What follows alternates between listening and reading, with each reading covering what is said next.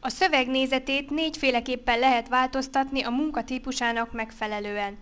Természetesen a nézet fajtája nem befolyásolja a végső megjelenést, amikor is a nyomtatásra kerül sor. A különböző nézetek között így lehet váltani.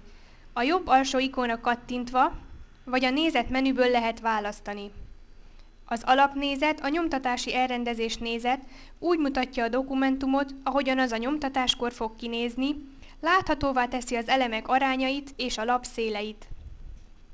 A normál nézet lehetővé teszi, hogy a szöveg teljes egésze jelenjen meg a rögzítéshez, de nem teszi láthatóvá az olyan elemeket, mint az élőfej és élőláb, lábjegyzet, margók és egyebek. A vázlatnézet lehetővé teszi, hogy az egész dokumentumot címsorokba rendezze úgy, hogy a felépítésen történő változtatásokat meggyorsítsa.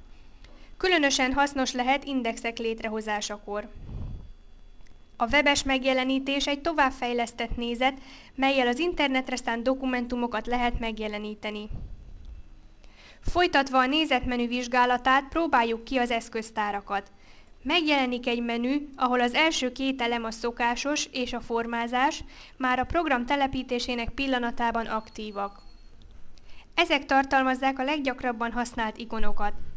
Ha például a keretekre kattintunk, megjelenik a vonatkozó eszköztár, amely amint látható, mozgatható és a többitől elválasztható. Lehetséges a többivel történő összevonása is, ehhez közvetlen a többi utáni területre kell húzni. Egy dokumentumnak a szövegre vonatkozóan két előre beállított része van. Az élő fej és az élő láb, melyek szintén a nézet menüből hívhatók elő. A fent említett helyekre írt adatok minden oldalon megjelennek majd.